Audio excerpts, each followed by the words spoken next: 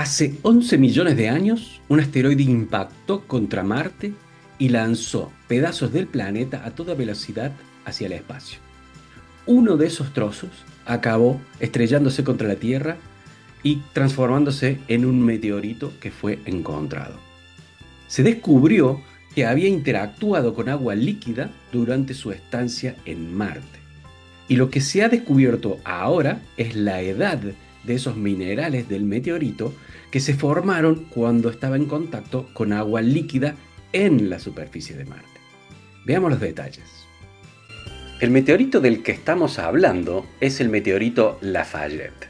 Y no, no está nombrado por las galerías Lafayette en París. Está más bien nombrado por el marqués de Lafayette. Los meteoritos son cápsulas del tiempo sólidas de planetas y cuerpos celestes de nuestro universo. Llevan consigo fragmentos de datos que los geocronólogos pueden desentrañar.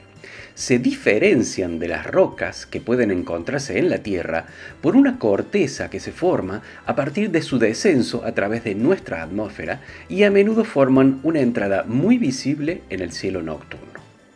Podemos identificar a los meteoritos estudiando qué minerales están presentes en ellos y las relaciones de estos minerales dentro del meteorito. Los meteoritos suelen ser más densos que las rocas terrestres. Algunos contienen metal y son magnéticos. También podemos buscar cosas como una corteza de fusión que se forma durante la entrada de la atmósfera terrestre. Por último, podemos utilizar la química de los meteoritos, en concreto su composición isotópica del oxígeno, para identificar de qué cuerpos planetarios proceden o a qué tipo de meteorito pertenecen. Algunos meteoritos marcianos, como este meteorito de Naclite de 0,8 kilos llamado Lafayette, contienen minerales que se formaron por interacciones con agua líquida cuando estaban en Marte.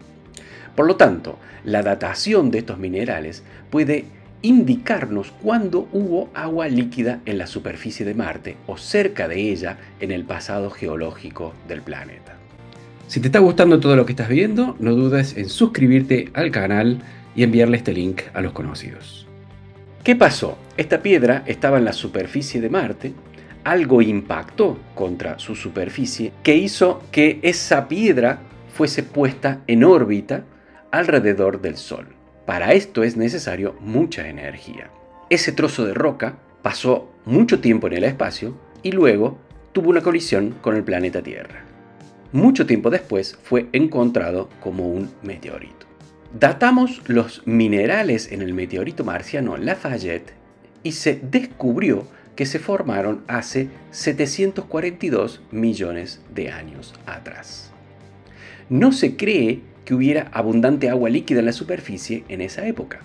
En cambio, se piensa que el agua procedía de la fusión del hielo subsuperficial cercano llamado permafrost, y que la fusión del permafrost fue causado por la actividad magmática que todavía se produce periódicamente en Marte hasta nuestros días se demostró que la edad obtenida para el momento de la interacción agua-roca en Marte es muy confiable y robusta, y que el cronómetro utilizado no se vio afectado por las cosas que le ocurrieron al meteorito Lafayette después de ser alterado en esa presencia de agua. La edad podría haberse visto afectada por el impacto que expulsó el meteorito Lafayette de Marte por el calentamiento que experimentó Lafayette durante esos 11 millones de años que estuvo en el espacio, o el calentamiento que experimentó Lafayette cuando cayó a la Tierra y se quemó un poco en la atmósfera terrestre. Pero se pudo demostrar que ninguna de estas causas afectó a la edad de la alteración acuosa en Lafayette. Este meteorito tiene pruebas únicas de que ha reaccionado con el agua. La fecha exacta de esto fue controvertida y estos resultados prueban cuándo el agua estaba presente en la superficie de Marte. Sabemos esto porque una vez que fue expulsado de Marte, el meteorito experimentó el bombardeo de partículas de rayos cósmicos en el espacio exterior, que hicieron que se produjeran ciertos isótopos en Lafayette.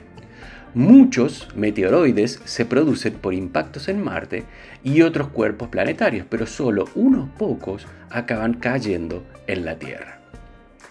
Entonces, todos estos datos están relacionados con mucha suerte. Primero, el haber encontrado el meteorito aquí en la Tierra. Segundo, el que ese meteorito haya chocado contra la Tierra y sobrevivido al impacto.